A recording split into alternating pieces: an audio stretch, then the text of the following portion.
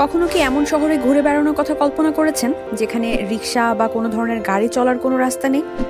যার প্রতিটা মোড়ে লুকিয়ে আছে ইতিহাস আর রোমান্সের গল্প। প্রতিটা বাঁকে নতুন নতুন সৌন্দর্যের প্রতীক, যেখানে একই সাথে শ্বাসরুদ্ধকর প্রাকৃতিক সৌন্দর্য আর হাজার বছরের ইতিহাসের দেখা মেলে। ইতালির ভাসমান শহর ভেনিস ঠিক তেমনই একটা স্বপ্নের মতো শহর। গ্র্যান্ড ক্যানেলের চকচকে পানি থেকে শুরু করে আইকনিক গন্ডোলা পর্যন্ত ভেনিস ভ্রমণ সম্ভবত বিশ্বের অন্য যে কোনো জায়গা ভ্রমণের অভিজ্ঞতার চেয়ে অনেকটাই আলাদা। সরু গলি পথ ধরে ধীরে ধীরে যখন শহরটার প্রতিচ্ছবি প্রতিফলিত হচ্ছিল, মনে হচ্ছিল যেন এক একটা গোপন রহস্য উন্মোচিত হচ্ছে।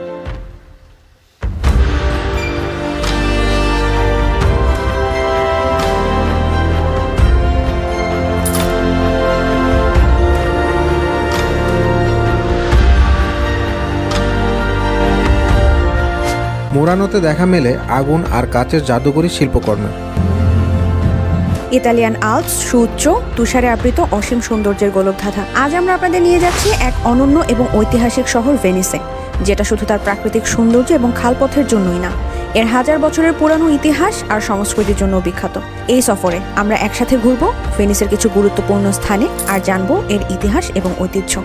আমাদের আজকের ইতালির ভেনিস ব্লগে আপনাদের স্বাগতম।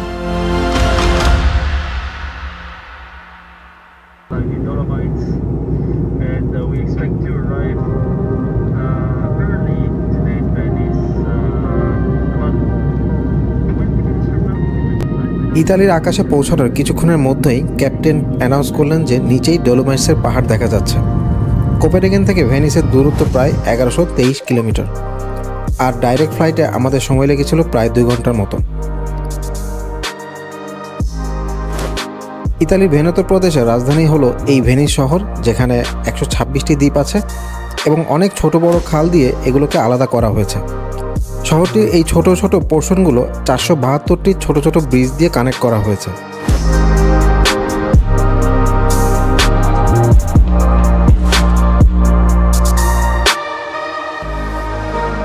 ভেনিসের ঐতিহাসিক কেন্দ্রীয় শহরকে ছয়টি জেলায় ভাগ করা হয়েছে।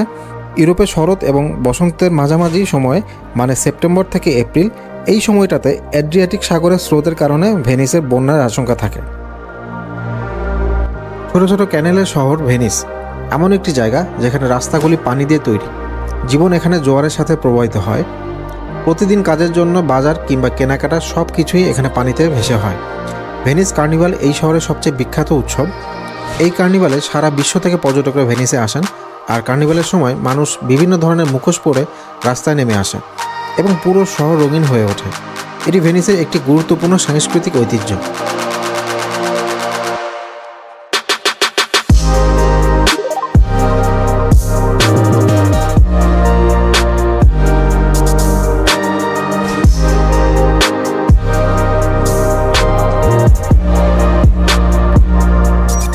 ভেনিসের ইতিহাস শুরু হয় প্রায় পনেরোশো বছর আগে। অ্যাড্রিয়াটিক সাগরের উপকূলে ছোট ছোট দ্বীপ নিয়ে গড়ে উঠেছিল এই ছোট শহরটি। ভেনিসের প্রাচীনতম এবং সবচেয়ে বিখ্যাত ব্রিজ এই রিয়ালটো ব্রিজ। রিয়ালটো ব্রিজ থেকে পুরো গ্র্যান্ড ক্যানেলের চমৎকার নৈসর্গিক দৃশ্যের দেখা মেলে।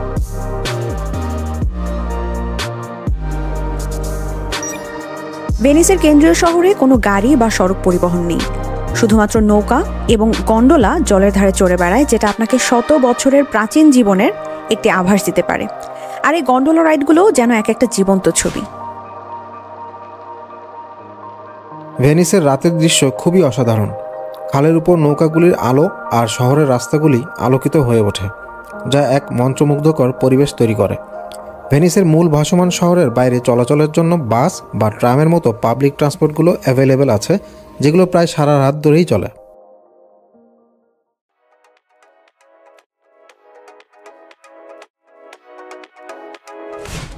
ভেনিস ট্রিপের দ্বিতীয় দিনে আজকে আমাদের গন্তব্য Saint Mark's Basilica. Piazzale Roma নামের স্টেশন থেকে ওয়াটার বাসে আমরা রওনা দিই। এই ওয়াটার বাসগুলো সাধারণ পাবলিক ট্রান্সপোর্টের মতোই সব সময় অ্যাভেলেবেল থাকে। আর ভেনিসের ভেতরের পুরো শহরেই কিন্তু চাইলে ছোট ছোট ব্রিজগুলো ব্যবহার করে হেঁটেই যাওয়া যায়। কিন্তু দূরত্ব বেশি হওয়ার কারণে সেটা বেশ কষ্টসাধ্য বলে সবাই এই ওয়াটার ট্রান্সপোর্টগুলো ব্যবহার করে।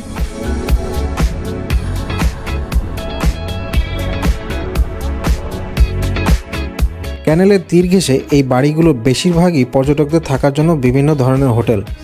প্রায় আধা ঘণ্টা পর ভেনিসের একদম কেন্দ্রস্থলের এই অত্যাশ্চর্য সেন্ট মার্কস স্কোয়ার যেখানে পর্যটকরা একটা সোনালি মাস্টারপিসের সৌন্দর্য দেখতে জড়ো হয়, সেই গ্র্যান্ড সেন্ট মার্কস ব্যাসিলিকায় এসে পৌঁছায়। ভ্যানেশিয়ানরা এটাকে বলেন পিয়াসা সান মার্কো। অনেকে বলেন নেপোলিয়ান নাকি এই পিয়াসা সান মার্কোকে ইউরোপের ড্রয়িং রুম বলে আখ্যা দিয়েছিলেন। এই উল্লেখযোগ্য গির্জাটি তার বর্ণময় মোজাইক এবং স্বর্ণের ঘোড়ার জন্য বিখ্যাত। এই ব্যাসিলিকার ছাদে দাঁড়িয়েও পুরো ভেনিস শহর বার্সায় ভিউর মতো দেখা যায়।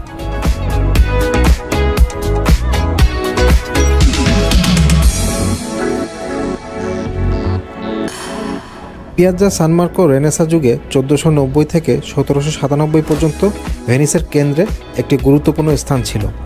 এই ঐতিহাসিক স্থাপত্যটি ইতিহাস, শিল্প এবং সৌন্দর্যের এক অসামান্য প্রতিচ্ছবি।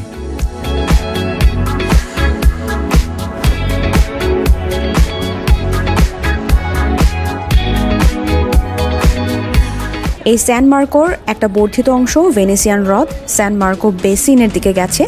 যে দুটি স্থানের সমন্বয় একসাথে, ভেনিসের সামাজিক, ধর্মীয় এবং রাজনৈতিক কেন্দ্র গঠন করেছে।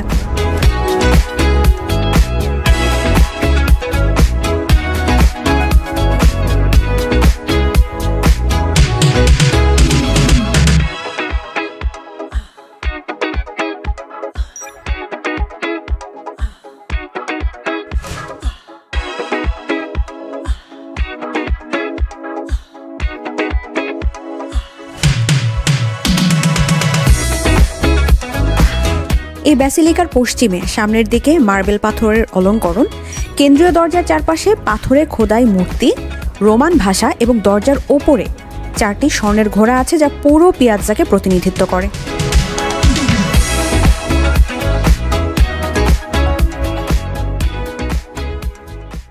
বর্তমানে অরিজিনাল ঘোড়াগুলো ব্যাসিলিকার ভেতরে রাখা আছে, আর বাইরে রাখা আছে এগুলোর মডার্ন রেপ্লিকা প্রায় চারশো বছর পর সতেরোশো সাতানব্বই সালে নেপোলিয়ান ভেনিস জয় করে এই ব্যাসিলিকা দখল করেন এবং সান মার্কোর বিখ্যাত ঘোড়াসহ অনেক মূল্যবান জিনিস লুট করে প্যারিসে পাঠিয়ে দেন। পরে অস্ট্রিয়ান এবং ফরাসি শাসনের অধীনে পর্যায়ক্রমে এর পরিবর্তন চলতে থাকে।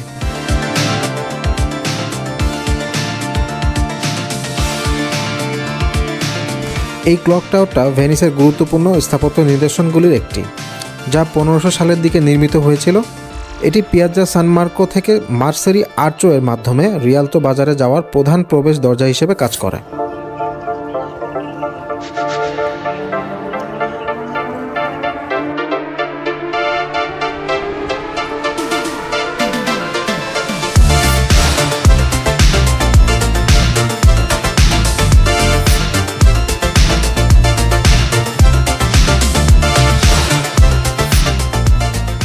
সেন্ট মার্কসের এই পুরো ব্যাসিলিকাটা ঘুরে দেখতে আমাদের প্রায় আড়াই ঘণ্টার মতো সময় লেগেছে।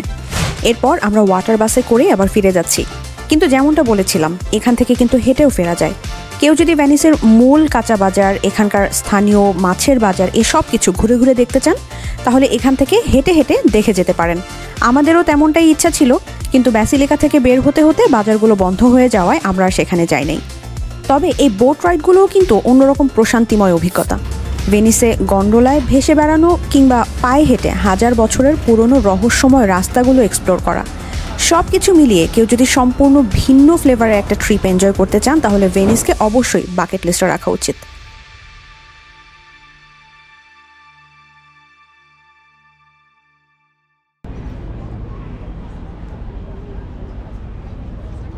ভেনিস ট্রিপের তৃতীয় দিনে আজকে আমরা যাচ্ছি ভেনিসের খুব জনপ্রিয় দুইটা দ্বীপ, বুরানো এবং মুরানোতে। ইনফরমেশন ডেস্ক থেকে রুট বুঝে নিয়ে ওয়াটার বাসে টিকিট কেটে নিলাম। এখানে ট্যুরিস্টদের জন্য এক ঘণ্টা, চব্বিশ ঘণ্টা, বাহাত্তর ঘণ্টা এরকম বিভিন্ন টাইম ফ্রেমের জন্য ডিজিটাল পাস কিনতে পাওয়া যায়, যেগুলো মূল ভেনিসের বাইরে ট্রাম কিংবা বাসে ইউজ করা যায়, আবার ওয়াটার বাসগুলোর জন্যও অ্যাপ্লিকেবল এবং এই পাসগুলো মোটামুটি রিজনেবল বলেই আমার কাছে মনে হয়েছে। এখানকার লোকাল বাসিন্দারাও কিন্তু রেগুলার ট্রান্সপোর্ট হিসেবে এই ওয়াটার বাসগুলো ব্যবহার করেন। আর এই ওয়াটার বাসগুলোকে স্থানীয়রা ভেপোরাত্ম বলেন।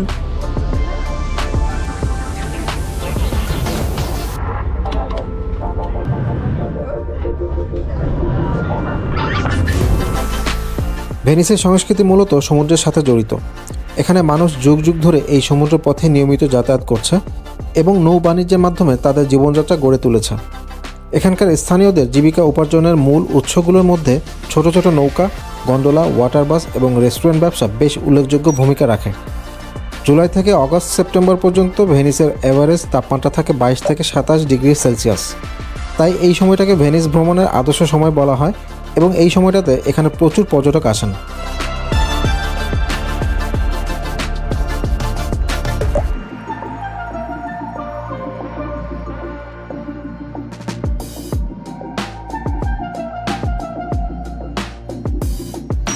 বুরানোতে যাওয়ার জন্য ভেনিসের ছোট ক্যানেল থেকে বের হয়ে ভেনেসিয়ান লাগুন পাড়ি দিতে হয়।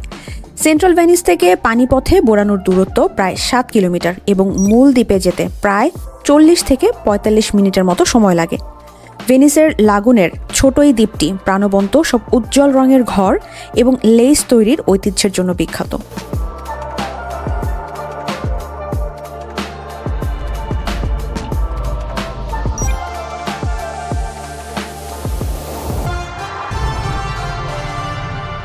বুরানোর লেইস মেরলেত্তো নামে পরিচিত, যেটা ষোলো শতকে আন্তর্জাতিকভাবে পরিচিতি লাভ করে।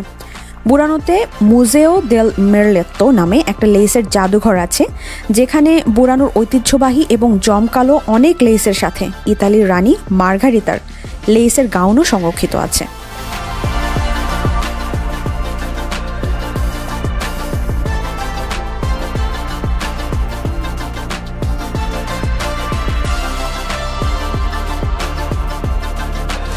ঐতিহাসিকভাবে বুরানো একটি মাছ ধরার গ্রাম ছিল এবং বলা হয় যে উজ্জ্বল রং জেলেদের কুয়াশার মধ্য দিয়ে চলাচল করতে সাহায্য করত বলে বাড়িগুলো এভাবে রঙিন করে রাখা হতো।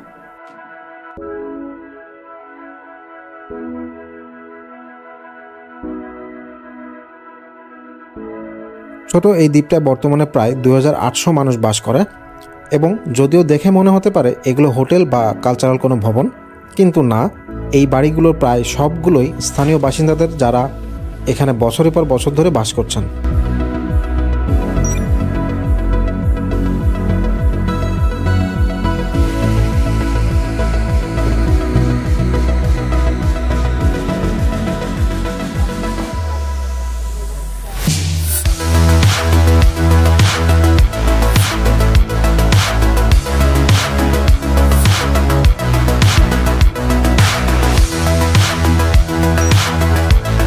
ভেনিসের এই ছোট দ্বীপটায় অনেক পর্যটক আসেন।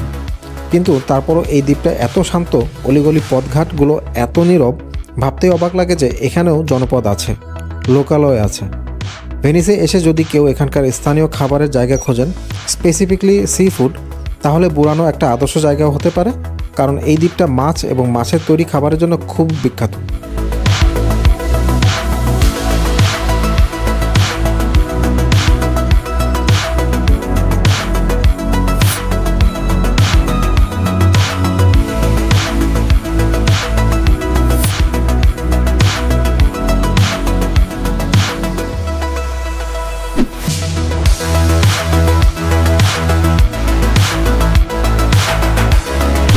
বুরানো ঘুরে এসে আমরা এখন আছি ভেনিসের আরেকটা উল্লেখযোগ্য ঐতিহাসিক দ্বীপ মুরানোতে।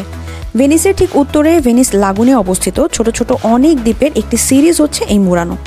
এটা মূলত কাঁচ এবং কাচের তৈরি নান্দনিক এলিগ্যান্ট সব জিনিসপত্র তৈরির দীর্ঘ ঐতিহ্যের জন্য বিশ্বব্যাপী বিখ্যাত। বারোশো একানব্বই সালে ভেনিসের সব কাচ নির্মাতারা শহরে আগুনের ঝুঁকি কমাতে এই মোরানোতে স্থানান্তরিত হয়েছিল। শতাব্দীর পর শতাব্দী ধরে মোরানো হাই কোয়ালিটি কাচ উৎপাদনের জন্য বিশ্বব্যাপী সমাদৃত। ক্রিস্টাল অ্যানামেল্ড এবং বিভিন্ন রঙের কাচের জন্য মোড়ানো এখন একটি জনপ্রিয় পর্যটন গন্তব্য। দর্শনার্থীরা এই কাচের কারখানা ওয়ার্কশপ এবং জাদুঘরগুলো ঘুরে দেখতে পারেন এবং এখানে ছবি কিংবা ভিডিও করারও অনুমতি আছে। আর এই কারখানাগুলো কিন্তু এই দ্বীপের হাজার বছরের শৈল্পিক উত্তরাধিকার শোকেস করে।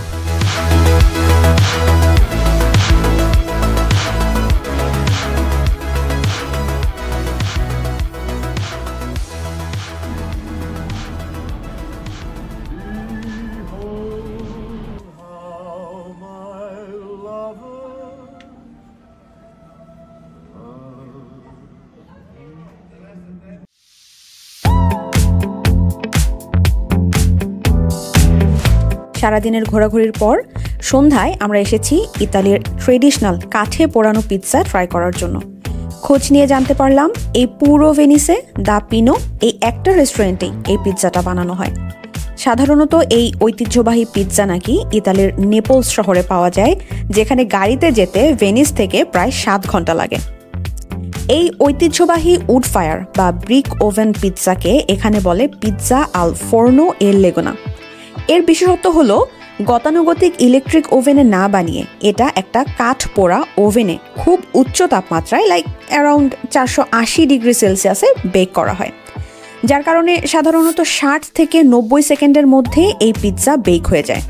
আর এই হাই টেম্পারেচারের কারণে এটার উপরের লেয়ারটা সামান্য পোড়া আর খাস্তা হয়, কিন্তু ভেতরটা সফট থাকে। সেই সাথে কাঠের ধোয়া একটা স্মোকি ফ্লেভার অ্যাড করে।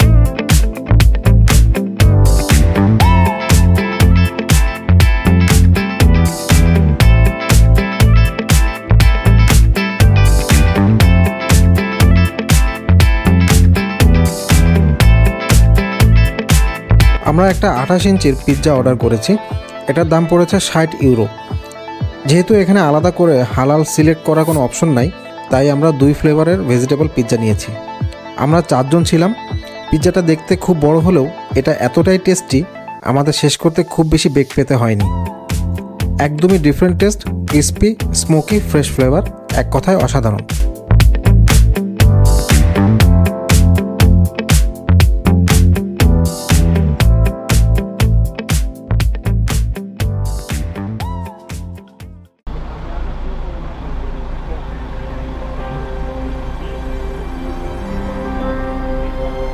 আজকে ভেনিসে আমাদের চতুর্থ দিন। আজকে আমাদের গন্তব্য উত্তর ইতালির ভেনেতো অঞ্চলে অবস্থিত কটিনা ডাম্পেজো এখানে যাওয়ার জন্য আমাদেরকে আলাদা টিকিট কিনতে হয়েছে, যার জন্য খরচ হয়েছে পার পারসন পনেরো ইউরো করে।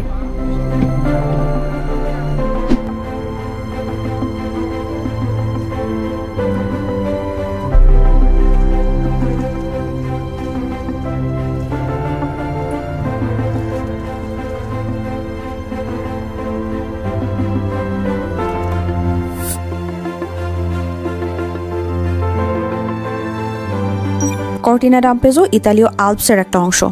আলপস নামটি ল্যাটিন শব্দ এলপিস থেকে এসেছে, যার উৎপত্তি সম্ভবত প্রাক রোমান শব্দ থেকে। এর অর্থ অনেক সুউচ্চ পাহাড় বা উঁচু চূড়ার পাহাড়। কর্টিনা ডাম্পেজোর পশ্চিমের তিনটি চূড়ার সমন্বয়ে যে পর্বত, সেটা হলো পৃথিবীর সবচেয়ে বিখ্যাত ডলোমাইট পর্বতগুলোর মধ্যে একটি।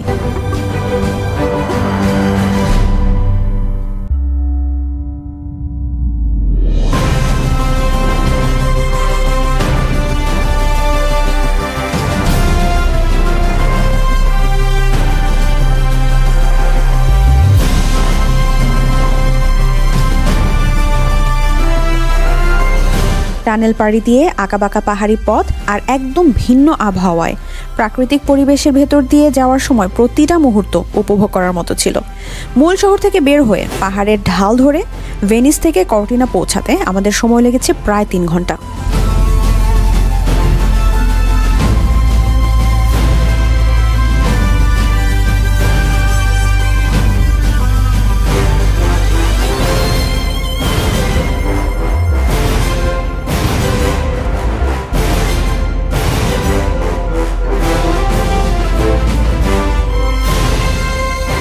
বাস থেকে নেমে আমরা কেবল কারের টিকিট কিনে নিলাম।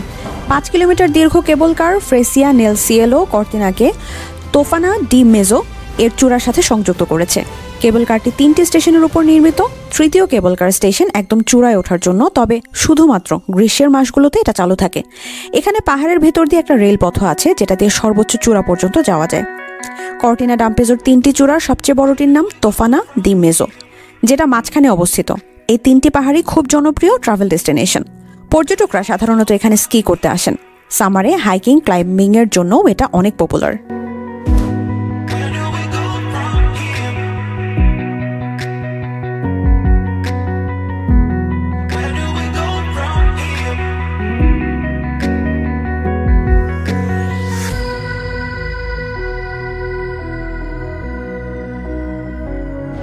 কেবল কারে করে এখানে পৌঁছাতে আমাদের প্রায় আধা ঘণ্টার মতো সময় লেগেছে। মজার ব্যাপার হলো, শুধুমাত্র আমরা দুজন ছাড়া বাকি সবাই এখানে স্কি করতে এসেছে। কটিনা ডলোমিটি সুপার স্কি এলাকার অংশ, যা বিশ্বের বৃহত্তম স্কি সার্কিটগুলির মধ্যে একটি। জেমস বন্ডের ফর ইয়োর আইজ অনলি এবং ক্লিফ হ্যাঙ্গার সহ বেশ কয়েকটি মুভির অংশবিশেষ এখানে শ্যুট করা হয়েছিল।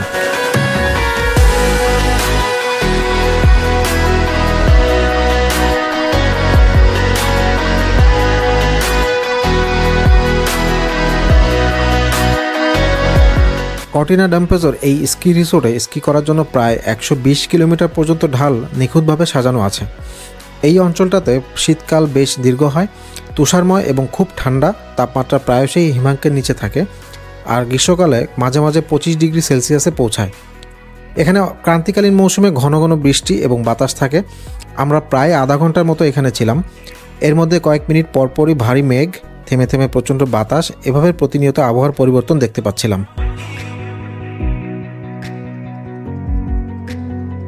শীতকালে যাওয়ার কারণে আমরা আলপসের পুরো অংশ খুব একটা ঘুরে দেখতে পারিনি। পুরো চূড়াই বরফে ঢাকা ছিল। তবে কেবল কারে করে নামার সময় ভিন্ন ভিন্ন জায়গায় এই আলপসের অপরূপ সৌন্দর্যের কিছু অংশ দেখার অভিজ্ঞতা হয়েছে। আলপসের অনেক শহর ঐতিহাসিকভাবে কৃষি, পর্যটন শিল্প এবং ব্যবসা বাণিজ্যের উপর নির্ভরশীল। এই কর্টিনা অঞ্চলটি আলপসের খুব গুরুত্বপূর্ণ একটা সাংস্কৃতিক ও অর্থনৈতিক কেন্দ্র। এই আলপস হিমবাহের মাধ্যমে ফ্রেশ পানি সরবরাহ করে এখানকার বিভিন্ন ধরনের উদ্ভিদ ও প্রাণীর লাইফ সাপোর্ট হিসেবে গুরুত্বপূর্ণ পরিবেশগত ভূমিকা পালন করে।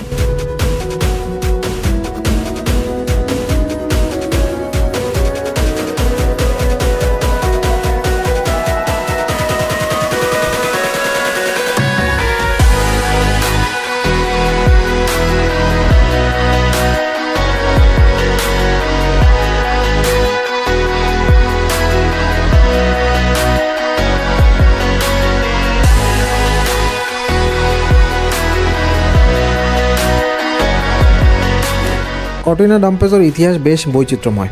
রোমান সাম্রাজ্য থেকে শুরু করে অস্ট্রিয়া, হাঙ্গেরি এবং সবশেষে প্রথম বিশ্বযুদ্ধের পর এটা ইতালিতে স্থানান্তরিত হয়েছে।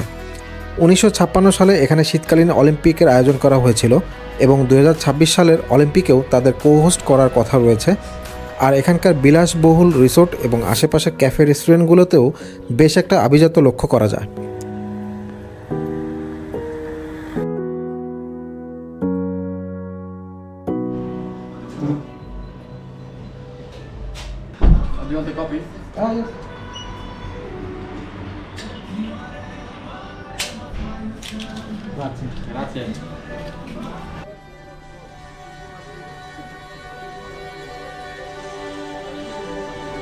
এখানকার স্থানীয় বাসিন্দাদের বাড়িঘর আর চারপাশের অ্যাম্বিয়েন্স সব কিছু দেখে মনে হয়েছে খুব শান্ত, সুন্দর, গোছানো জীবনযাপনে এরা অভ্যস্ত। বর্তমানে এখানে প্রায় দুই হাজার আটশো আটটি পরিবার আছে এবং সারপ্রাইজিংলি প্রতি পরিবারে অন এভারেজ দুইজন করে সদস্য মিলে এই অঞ্চলে এখন পাঁচ হাজার সাতশোর মতো বাসিন্দা আছে। কিন্তু পিক ট্যুরিস্ট সিজনে নাকি এটা আবার বেড়ে চল্লিশ হাজার পর্যন্তও হয়ে যায়। ব্যাপারটা বেশ ইন্টারেস্টিং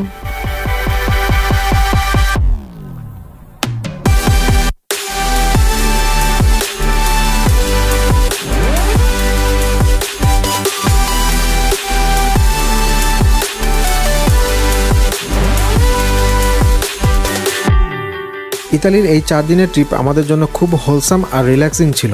আশা করছি নতুন কোনো দেশে রোমাঞ্চকর নতুন কিছু নিয়ে আবার আপনাদের সাথে কথা হবে। আপনাদের দেশে বিদেশে ভ্রমণের অভিজ্ঞতাও কমেন্টে আমাদের সাথে শেয়ার করতে পারেন। ইতালির কর্তিনা থেকে বিদায় নিচ্ছি, সেই সাথে বিদায় নিচ্ছি আজকের ভিডিও থেকেও। সবাই ভালো থাকবেন। আল্লাহ হাফেজ।